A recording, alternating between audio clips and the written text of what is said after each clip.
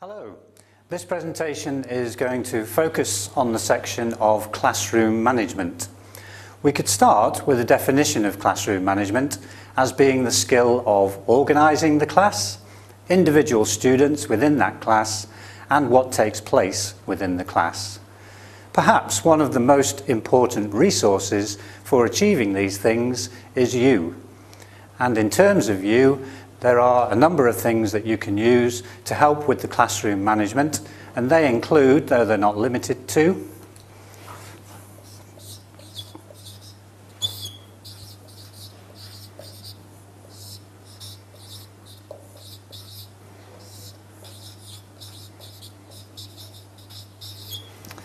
the use of your eyes, the use of your voice, and the use of gesture. So let's take each of these in turn and see how they can be used to help with the management of the classroom. So starting with our eyes, first of all, the eyes can be used in a number of ways and they can certainly be used to hold attention.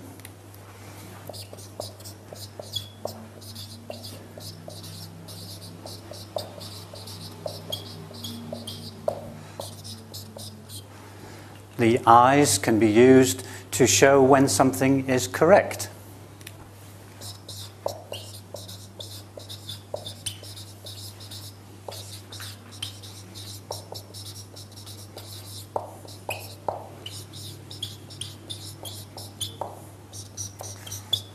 And the eyes can also be used to give encouragement to students and indeed to dissuade.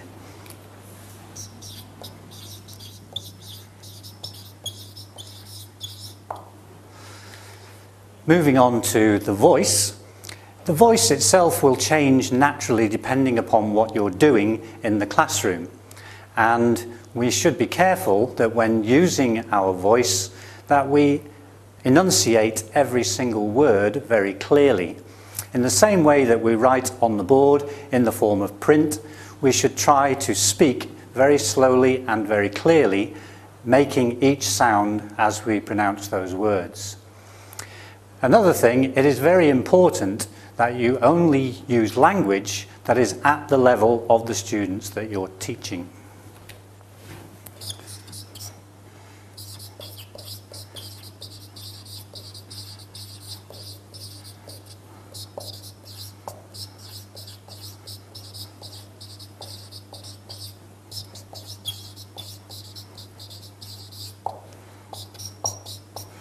In the same way as we're talking about enunciating every word, if your language is above the level of your students, then that perfect diction is going to be a waste of time.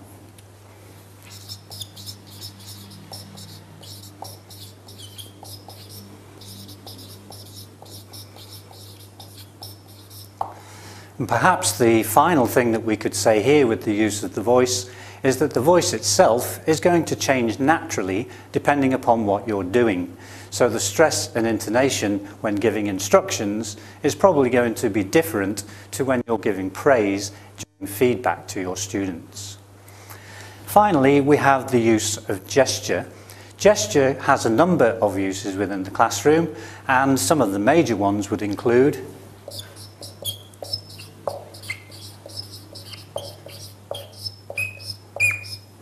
to reduce the teacher talk time. So the use of gesture instead of actually saying something. Gesture can also be used to add to or convey meaning.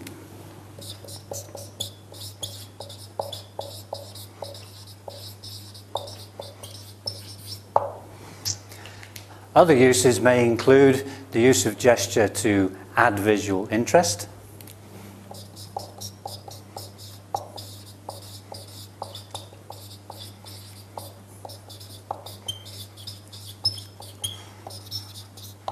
And perhaps finally here, we can use the use of gesture to actually increase or decrease the pace of the class.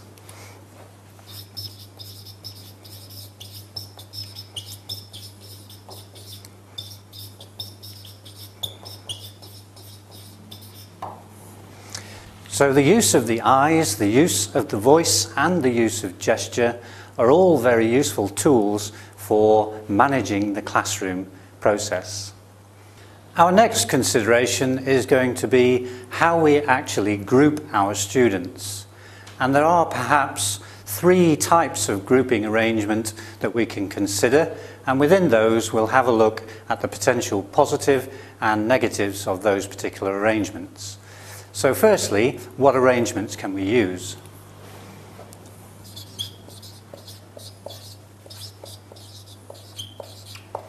We could arrange our group as a whole class, so all of their activities will be done as a whole class. They could be working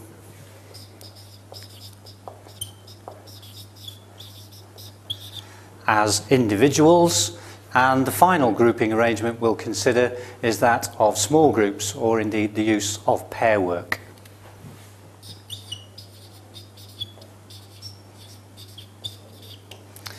So for each of these types of arrangement, what are the potential positive and negatives with that type of arrangement? For the whole class, certainly one of the main positive features is that it gives that class a sense of belonging.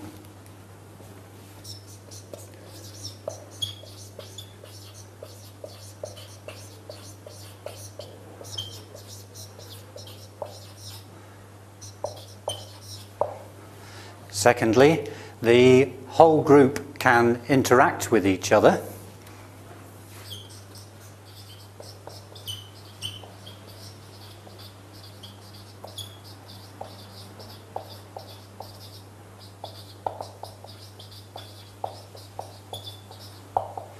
And perhaps the final benefit that we'll put here is as a whole class, it's actually good for classroom control.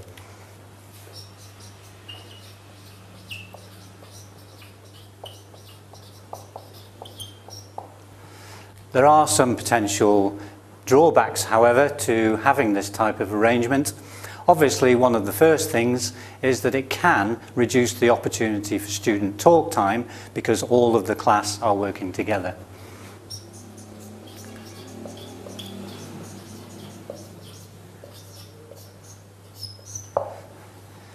Secondly, for the shy students, it can be quite off-putting having to work with the whole class together.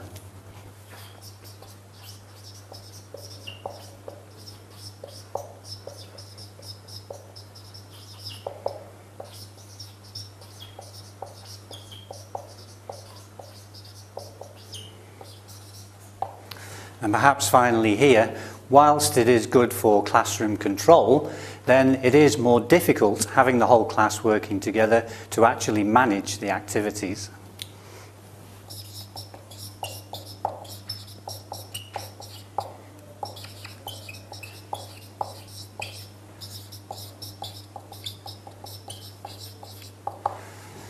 And due to some of these potential negative reasons, what we often try to do is to arrange the class in a different way, for example, as individuals. What are the potential advantages of arranging the class in this way? Well, it does allow the teacher to respond to individual students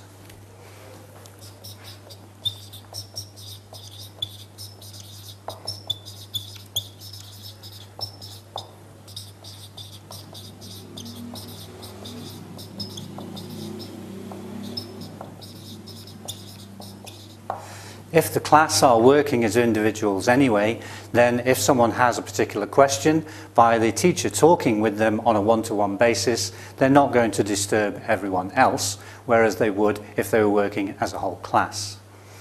Another thing that it will do is allow the student to become more self-reliant.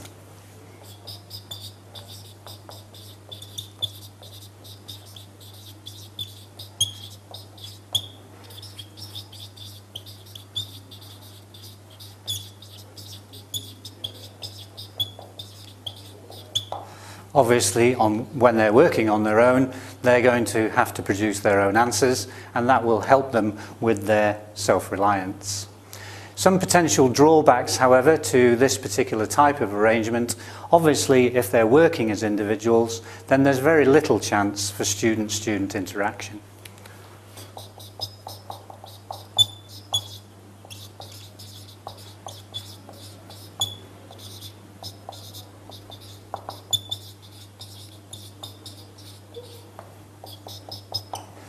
And again, as with the idea of the shy students, when they're working on their own, they need to be producing their own answers, and this can create more pressure on the students.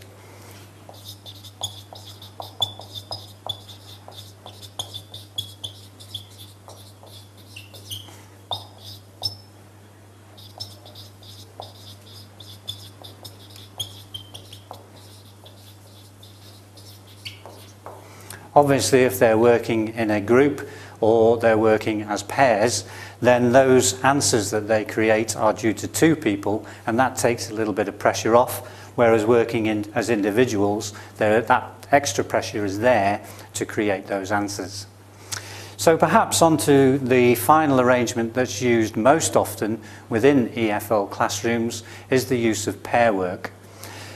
The potential benefits of using pair work are many, but we'll just note a couple.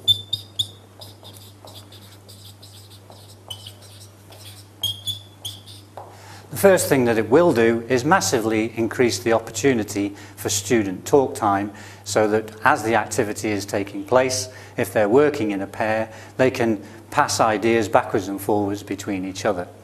And this creates a much safer environment for the student to work in.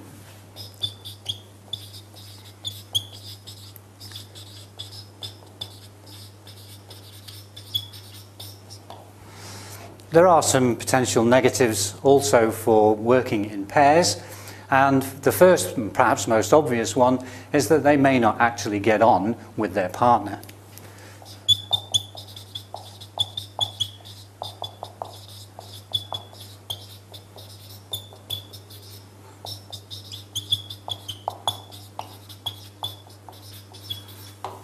And this will obviously reduce all the potential benefits if they're not particularly willing to talk to each other.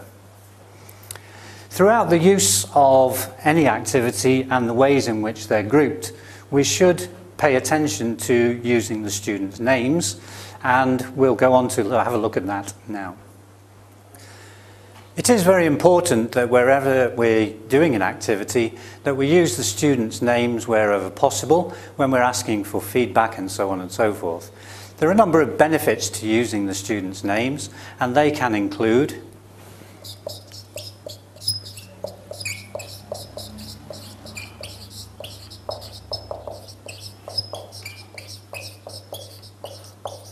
helping to actually organise the class itself Certainly to acknowledge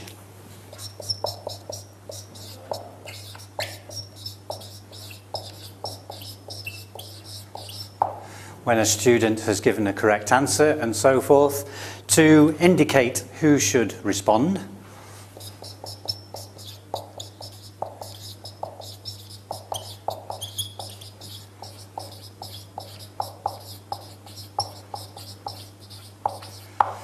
Rather than just asking a general question to the whole class, by using the names we can ask an individual to respond to that particular question. One point to note here is that if you are going to ask an individual student, it is very useful if you put their name at the end of the question.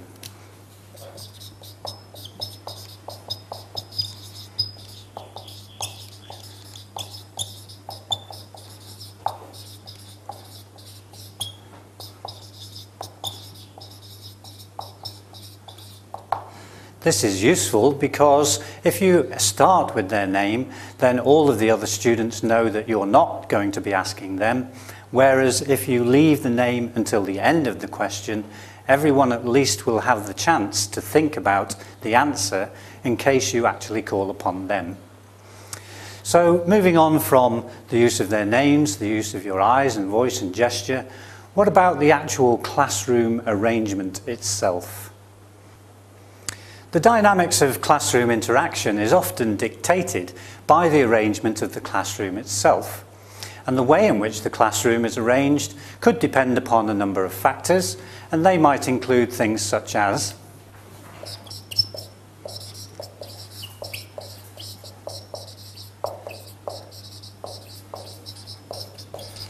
the age of the students. So for example, we're unlikely to have the same arrangement for adult learners as we would have for young learners. It could also depend upon the actual physical space available.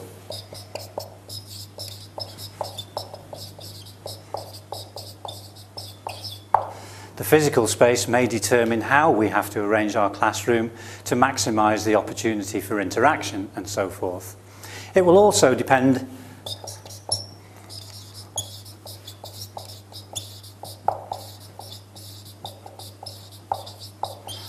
on what material is available. And by material, in this case, we're talking about the actual desks and chairs and so on and so forth. Perhaps the final thing we might put here is that it could also depend upon the students' personalities.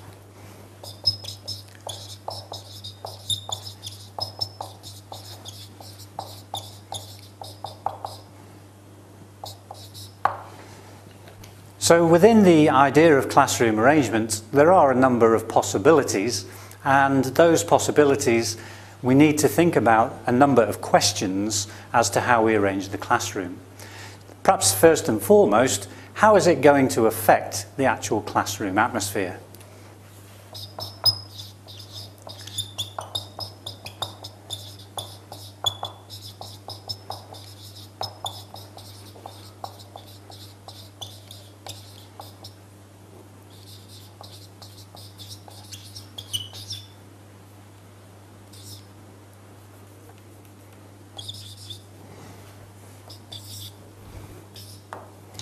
Secondly, which actual classroom arrangement is going to be most conducive to our classroom control?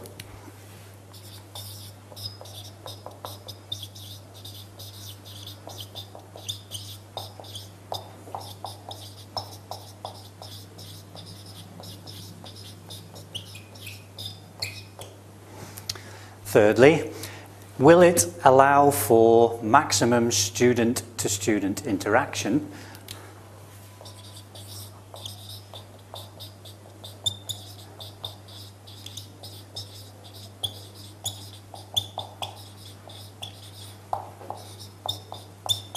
So we could call that student talk time. And finally, is it possible with the particular classroom arrangement that we've got to do all of the planned activities that we have created for this lesson.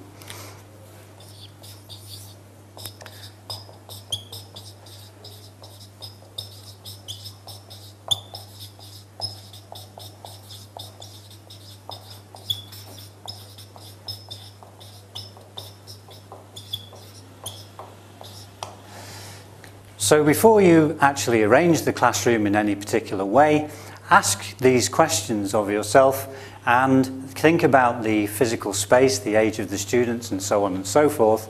And from those parameters, decide which classroom arrangement is going to be best. So now we'll consider the actual classroom arrangements themselves in terms of the physical desk layout. There are possibly three main types of arrangement that are used within classrooms and we're going to indicate the desks here as being black boxes and the arrangements of the students within those desks will be blue crosses.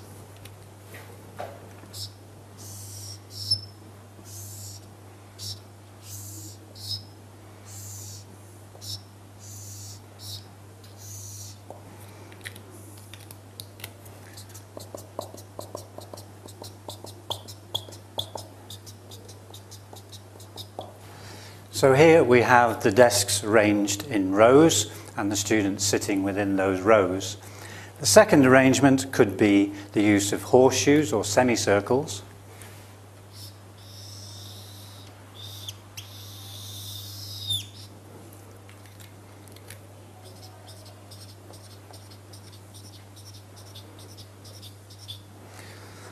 And finally, the use of individual desks.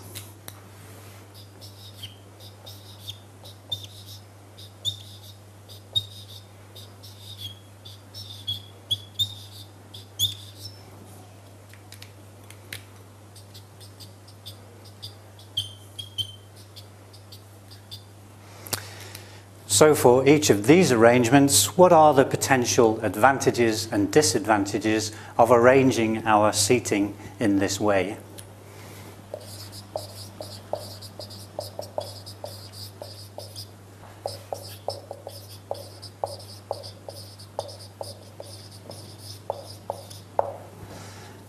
Let's take the rows first of all. One of the potential advantages is that it does give the teacher the opportunity, if it's arranged correctly, to move around freely within that arrangement.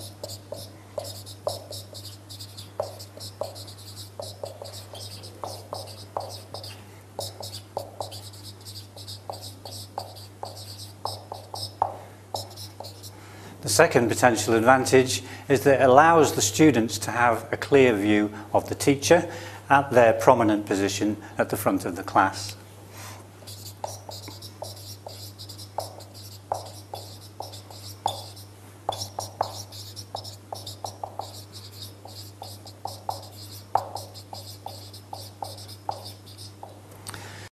There are, however, some potential drawbacks to this particular arrangement. And firstly and foremost, it can be very difficult with this type of arrangement for whole class interaction. So it's difficult for people to get up and move around.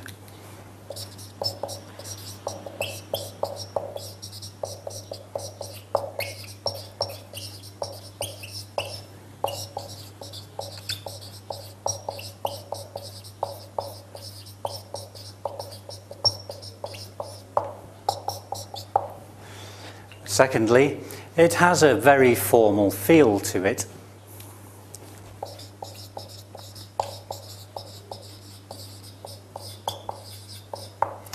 And whilst this might be okay in certain situations, if we're doing communicative activities, we don't want that formal feel because it will reduce the opportunity for students to talk to each other. So one potential way of getting around this is to use the actual horseshoes and some of the advantages of this system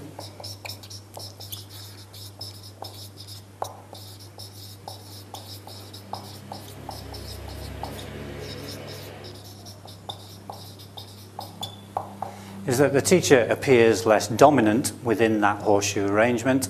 And secondly, with the horseshoe, it's very easy to arrange pair work.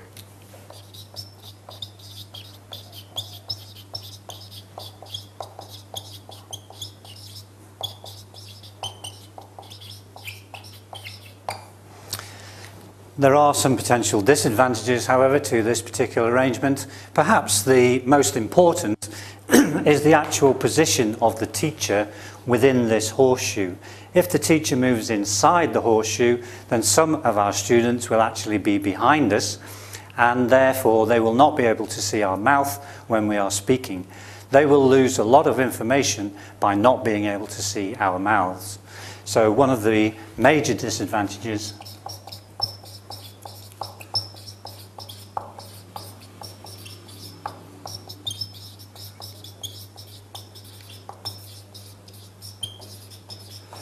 is that the position of the teacher becomes very important and not moving into that horseshoe. So our final arrangement then is the individual desks and the potential advantages here is that it's easy to give individual attention by just working with one student at one desk and you're not going to disturb the person next to them.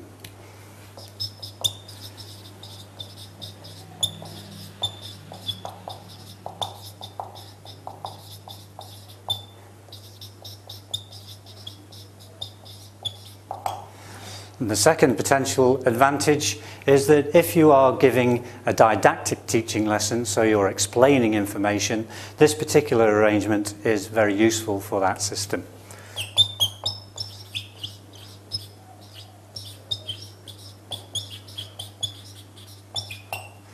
So it's good for a lecture type situation. There are some disadvantages to this particular arrangement, and possibly the first one is that it's difficult to maintain eye contact with all your students.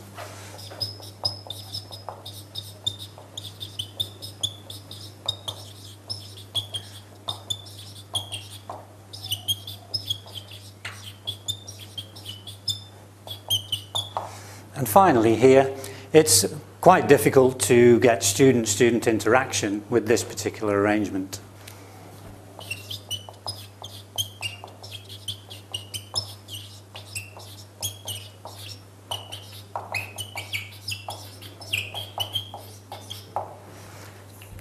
So it's quite important that we think about our classroom arrangement and the potential advantages and disadvantages of arranging in any particular way.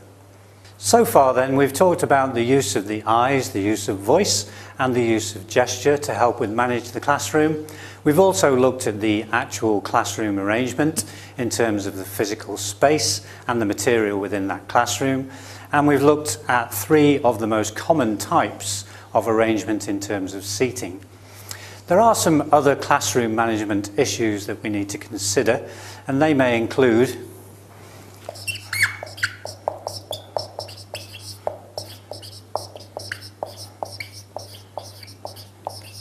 issues such as writing on the board, giving students individual attention,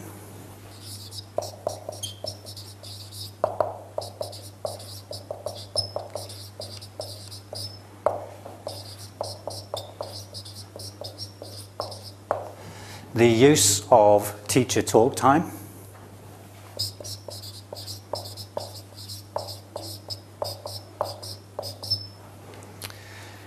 The way in which we should give instructions to our students.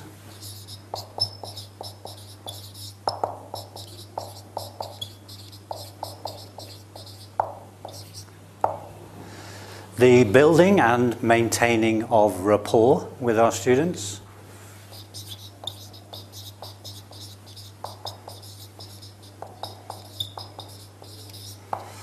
And finally, the one that perhaps most new teachers particularly spend a lot of time worrying and thinking about is the issue of classroom discipline.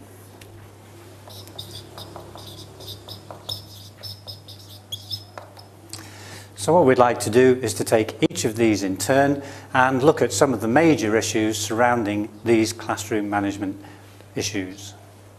One of the major ideas here when writing on the board is that we need to be aware that whenever we're using the board to write down information, we should not be talking. And whenever we are talking, we should not be writing on the board. This will inevitably lead to what's known as dead time when nothing is being said as we're putting information on the board. This dead time is not a problem, but we can actually minimize it by using a number of techniques.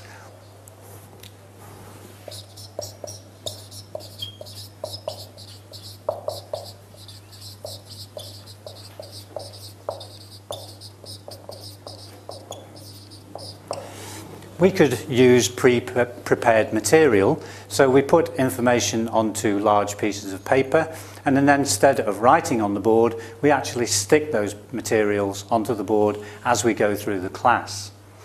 Another idea is to actually ask the students to write on the board for you.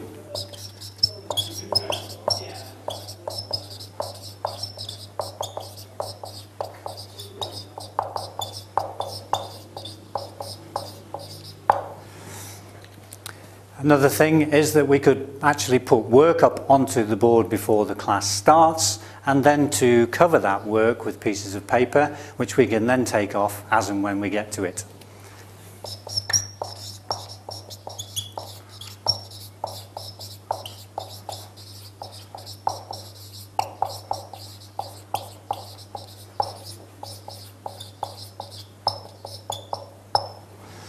Another very useful technique is to actually, during an activity, particularly study activities, once the activity has got going and we've monitored to check that the students are all working correctly, use that study time to actually put material up onto the board.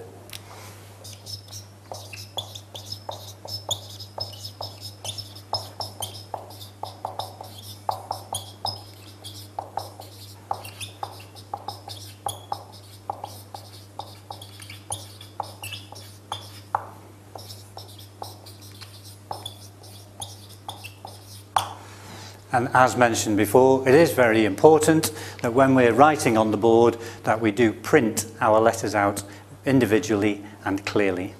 Our next main issue is going to be that of giving students individual attention. Here, many classroom management and even potential discipline problems can be avoided by applying some simple rules to giving your students attention. The first one is to think about the way in which you ask questions.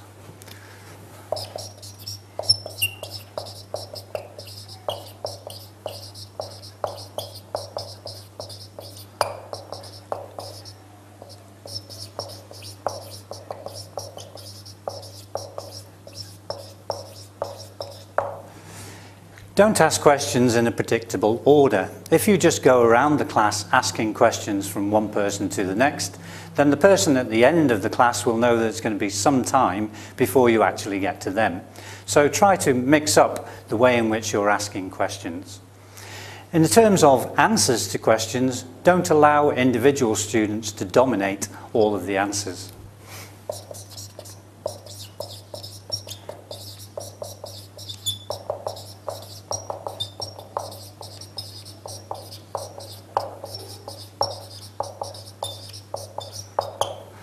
One of the things that we can do to help this particular issue is to use the students' names, as mentioned before, but remember, put those names at the end of the question.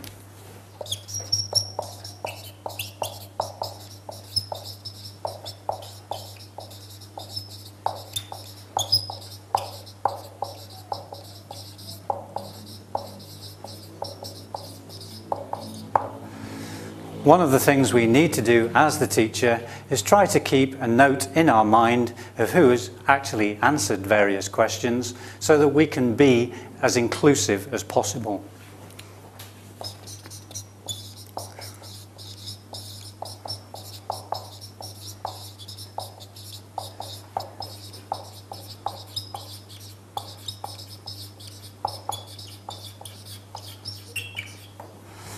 However, one point that we should put on the end of this is that we try to include everyone to give us answers when they can, but if they can't, then don't force students to answer.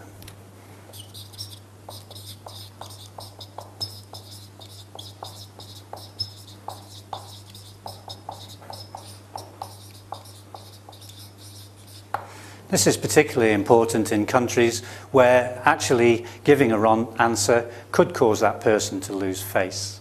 So don't force a student to answer if they're not sure. When considering teacher talk time, we can perhaps look at the major advantage and disadvantage of the teacher actually talking. The major advantage is that you as the teacher are the, usually the only real model for the language, the source of correct English. So at some stages, you teach, your, your talking time is very important to the students.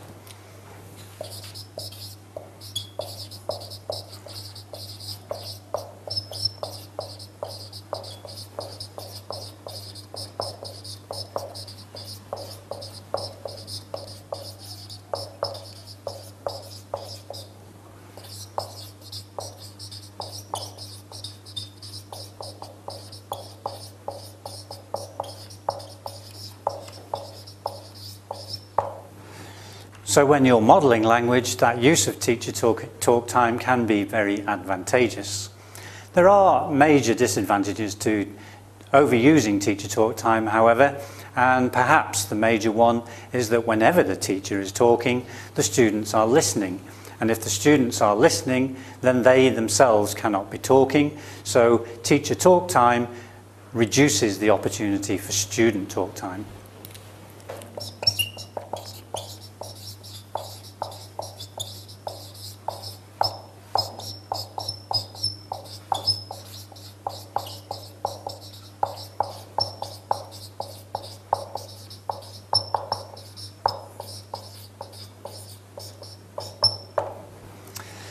So we should try to minimize the use of teacher talk time wherever possible. How can we do that? Well, there are a number of simple ideas.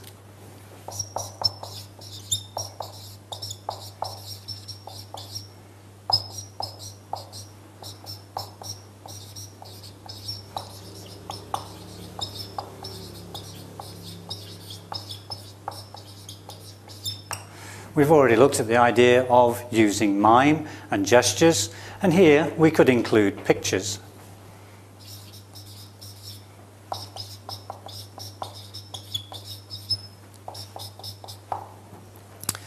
Secondly, then we need to make sure that we're only using language that's at their level. For a low-level group, it means that the language available to us as the teacher is going to be quite limited. That limited language will in itself reduce teacher talk time.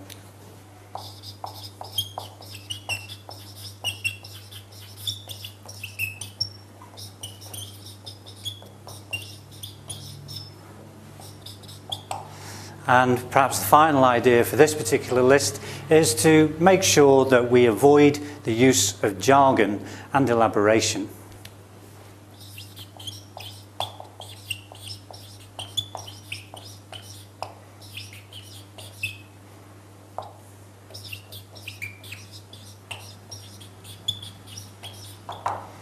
Perhaps the main message here is to keep it simple. Our next consideration is that of giving instructions to our students. In order for the students to effectively carry out an activity, we need to make sure we have given clear and ambiguous instructions. It's also very important to check that the students understand the activity before you start. If you've done that work correctly, then the teacher shouldn't need to say anything once an activity has started because the students are very clear about what they're supposed to be doing. So some ideas when giving instructions. As we've mentioned, use simple language.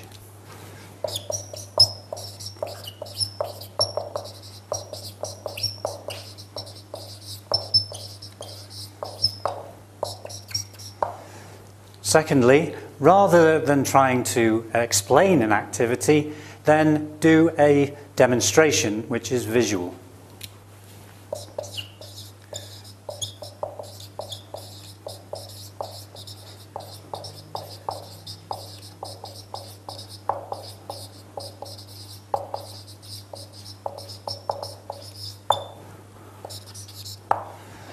Thirdly, try to use wherever possible common words that come up within every activity.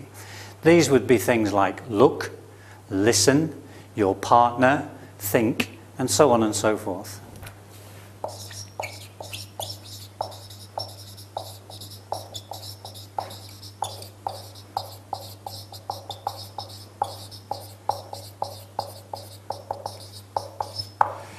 So instead of continually changing the way you try to describe an activity, if we use these common terms such as look and listen,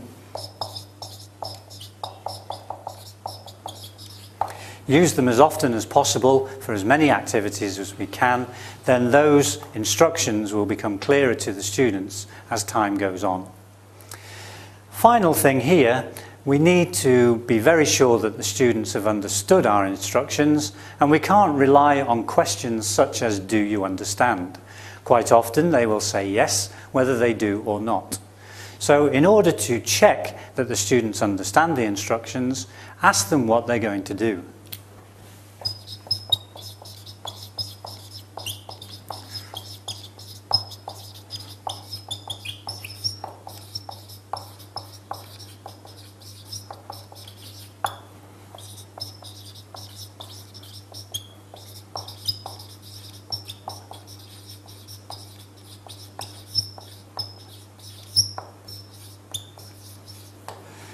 If they cannot adequately answer that question, there's very little point in moving into the activity itself. And we need to go back and explain, demonstrate again.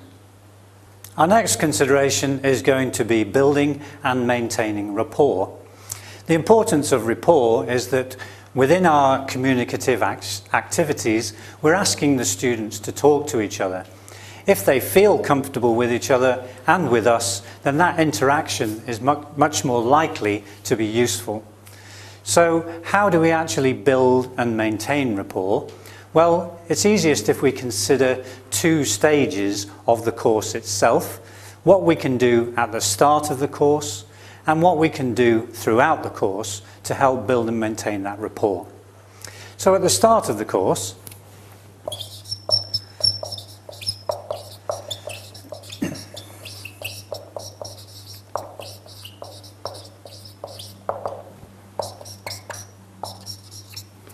It's very useful if we ask the students to create a name card and to make that name card visible to everyone.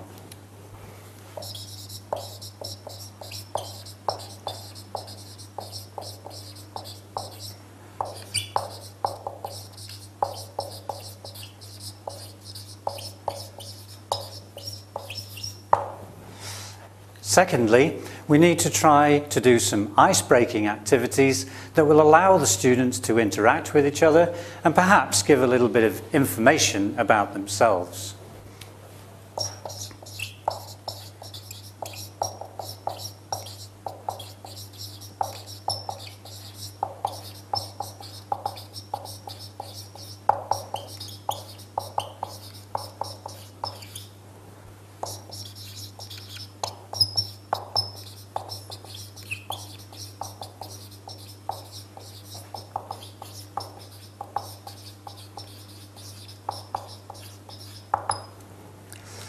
Once we move into the course itself, there are a number of techniques that we can use to help maintain that rapport so that students are comfortable with each other when doing communicative activities. So throughout the course,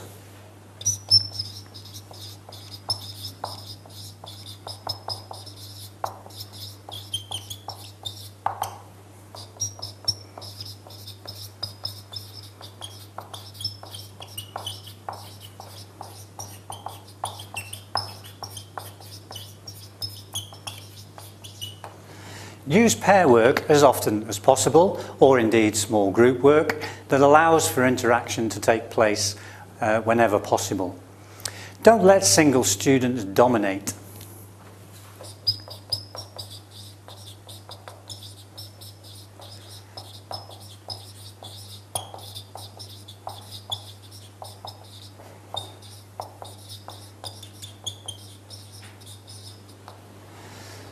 Thirdly, Allowing students to correct each other will often help to maintain the rapport within the class.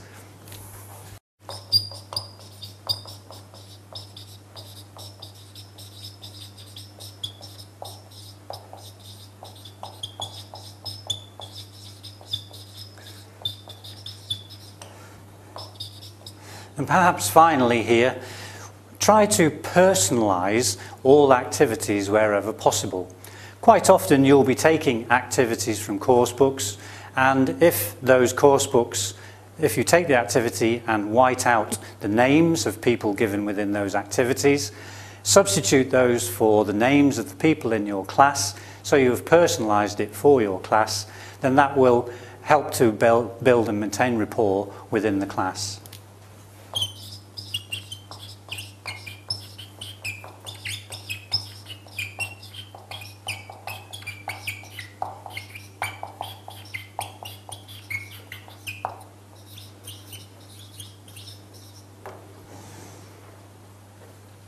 Our final consideration here then is going to be discipline within the classroom.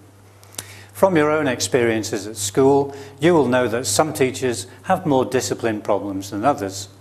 Now there are no set rules which will work for all situations that you find yourself in, but there are some things that we can do to stop problems arising in the first place. One of the major causes of problems is when students do not respect the teacher. And there are some things that we can help to build and maintain that respect from our students. Perhaps uh, a short list of some of the major things that you should consider.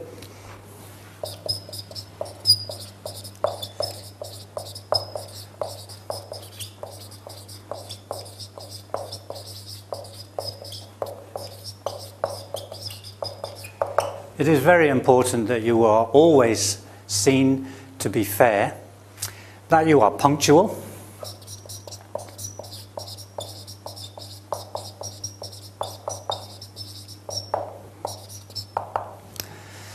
That you are always well prepared in terms of your materials and activities.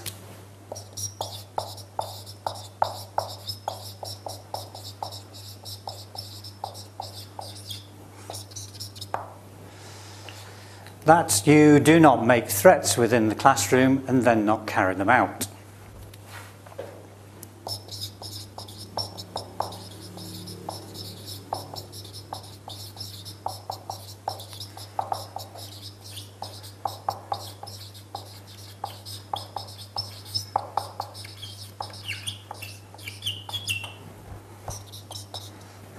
Also here, it's important that we show respect for our students in all situations.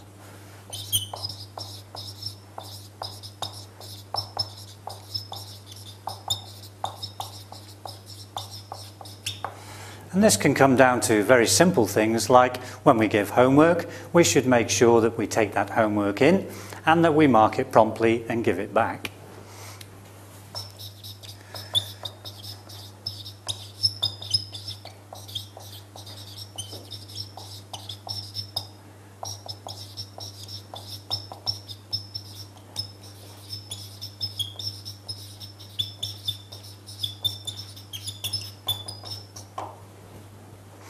And finally, one of the major things that we can do to help maintain the respect of our students is to always be enthusiastic.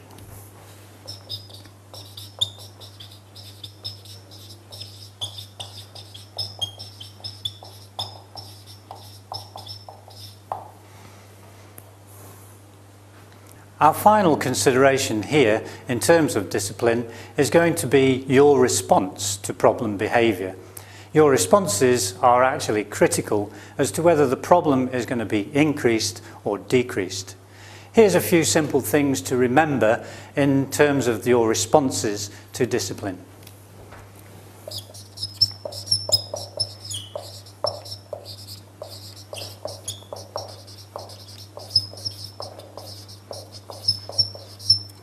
Firstly, it's very important that you act immediately before the problem can get worse.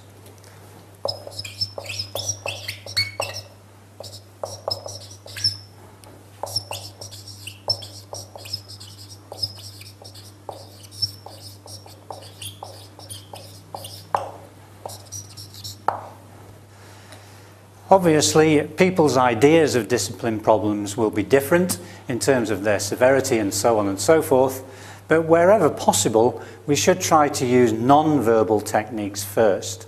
If, for example, two students are talking to each other while you are talking, then just stop. Look at those people who are talking, and it's very unlikely that they're going to continue to do so. So without saying anything, using non-verbal techniques, we can avoid this type of behaviour.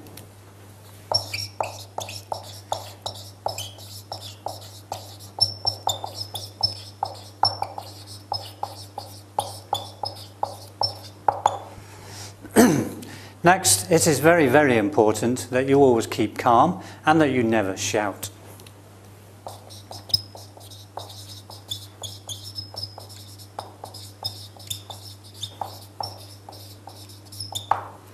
From your own experience, you're probably aware that there's very little to be gained by shouting. Make sure also that you keep within the school discipline code.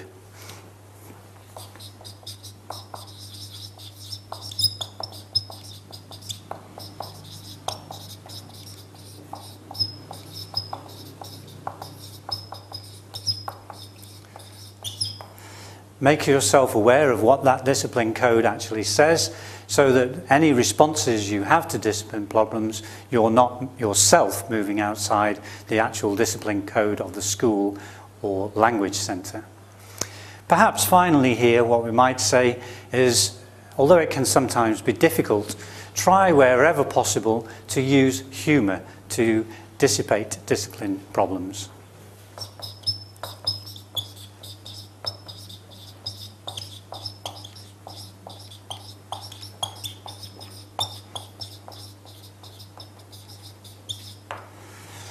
It would be very nice if we could just give a list of things that you would need to do in order for you to never have any discipline problems in your career, but that list does not exist.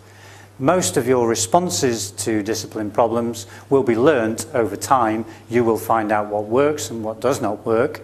But when you first start, if you keep these sorts of ideas in your mind, then it does mean that discipline problems shouldn't escalate.